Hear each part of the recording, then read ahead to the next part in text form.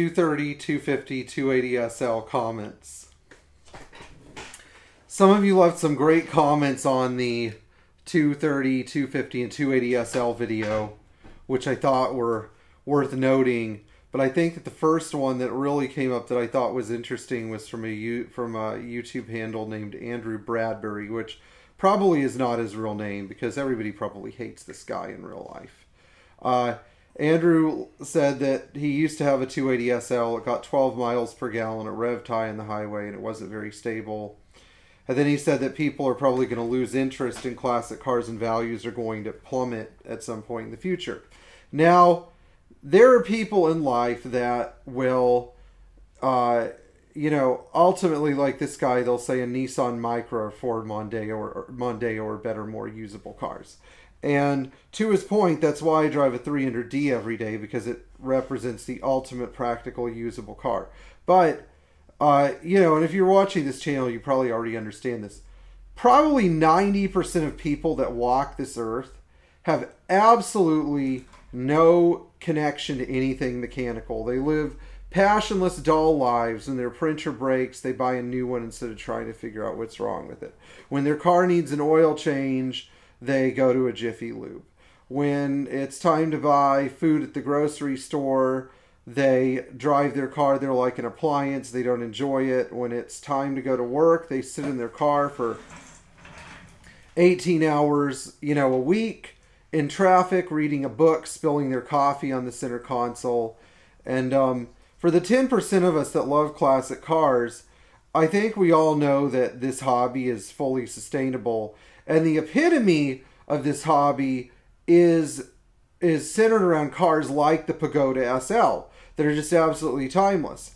While a Ford Mondeo and a uh, Nissan Micra, whatever piece of junk this guy drives, uh, might actually seem like decent cars, nobody will ever find you cooler or more attractive because you're driving one. In fact, people will probably think that you're boring at best or a loser at worst. Uh, second, you know, fuel efficiency and low revving engines in the highway are not necessarily everything. Personally, I love hearing the blat of the M130 engine when I shifted into third gear at 5,500 RPM.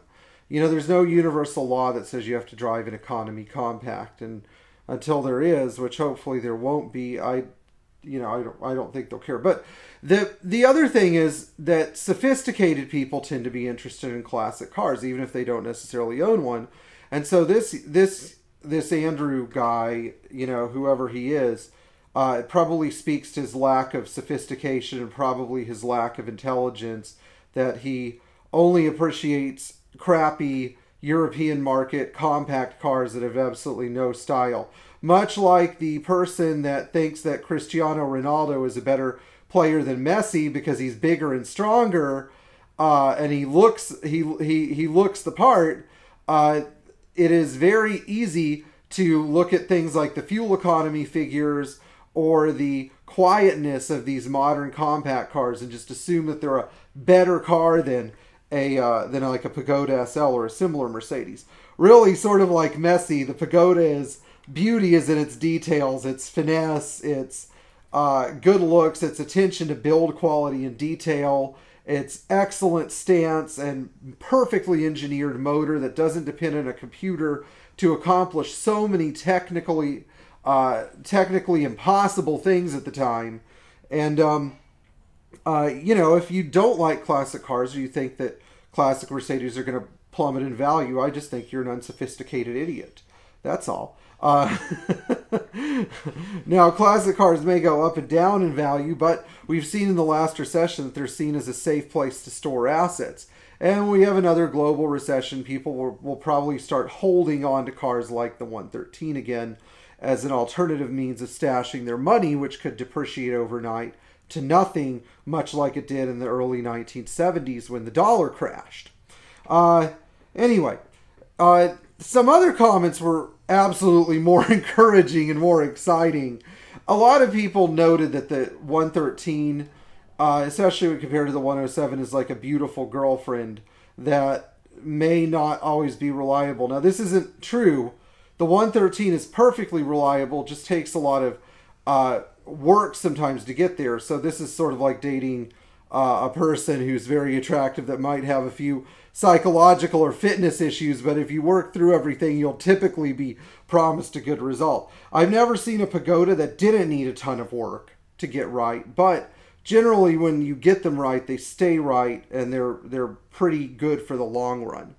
Uh, the the 107 just has a lot more power and is a much quieter, easier to maintain, cheaper to purchase, cheaper to repair car.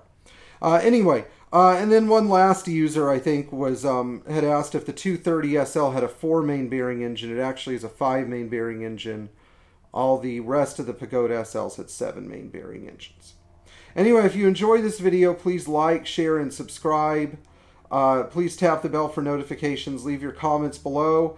And if you're some passionless twit like Andrew, or no, wait, I should say a passionless wanker who prefers a Ford Mondeo or a Nissan Micra or some stupid, ugly compact car, then you probably shouldn't be watching this channel because I'm going to make a fool out of you. Cheerio.